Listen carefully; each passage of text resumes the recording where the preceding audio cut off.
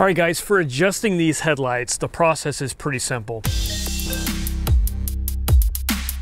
On each of these JK lights, on the, let's see, it's about the two o'clock position on the driver's side, and it's about the 10 o'clock position on the passenger side. There's another T15 uh, Torx screw. That screw, when screwed in or out, will adjust the uh, elevation of your headlight, so up or down. And let's see, if you screw in, it's gonna push the headlight down. If you screw out, it's gonna bring the headlight up. That's the only adjustment you have on these JK headlights, uh, but it's a pretty important one. And please, when you install new headlights, you need to make sure you adjust your headlights right away.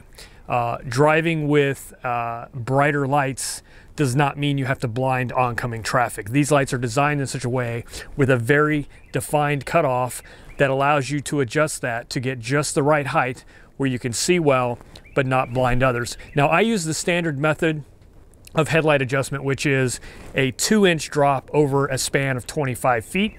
That's the starting point. If you find you're still getting flashed by oncoming drivers, you may need to lower it just a little bit. It, a lot depends on how high up your vehicle is. The higher you are, the more drop you're really gonna need. Uh, but uh, for me, that two inch over 25 feet seems to be a good spot. And that's generally the industry standard. So how this works is uh, you've got this uh, T15 there. You need one of those skinny Torx drivers to get in there uh, if you want to do it with the grill on, or you can do like I do and cheat, just leave the grill off, and then you can use any Torx bit. Uh, the same one I use to install the headlights fits in there fine with the grill off. It's just a little tight squeeze right there. So what I do is I, I find a flat spot with a wall uh, where you can back up 25 feet. I usually go to the back of a grocery store, look for a nice level spot behind the store, nice big brick wall. I roll up as close as I can get to the wall and I put uh, duct tape, in this case black Gorilla tape, uh, at the uh, top the top of the tape goes at the cutoff area on each headlight and then centered there's that little transitional diagonal.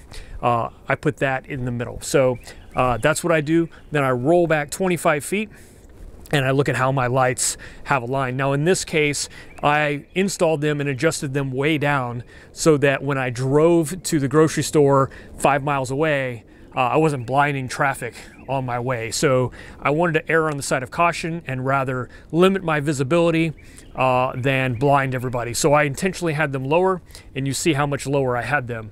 Uh, but now that I'm 25 feet back, I can raise up, and you see me here starting, raising that up on the passenger side uh, to the bottom of the tape mark. Now it's a two inch piece of tape. So if I started with it at the top, uh, now at the bottom is two inch lower. So uh, it's a really easy guide for me.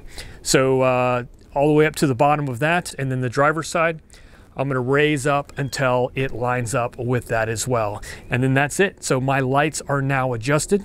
And again, I'm gonna make sure that I'm cognizant of the fact that if I'm still being flashed, it means my lights are probably still a little bright, or maybe do it three inches over 25 feet. But just experiment and know that you gotta find a starting point. But whatever you do, go adjust them at least to something. And I would recommend starting there. Anyway, guys, that's it. Thanks for watching. I'll catch you on the next one.